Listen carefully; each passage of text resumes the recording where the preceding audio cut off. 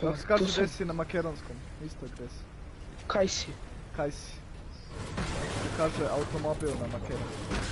Isto. Ej, je. Meso. Isto. Jo, brat. Mogu išto ubode nešto novo sunce. Ajde, probaj. Kako se kaže čokolada? Čokolada. Lada. Kako se kaže papagaj? Papagal.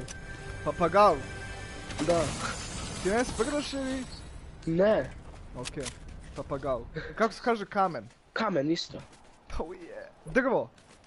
Isto. Metal. Metal isto. Isto, isto. Je. Ja sam makedonac, kim mi desili u Kako se kaže... Pitaj njega više, ne mogu ti. Pitanje!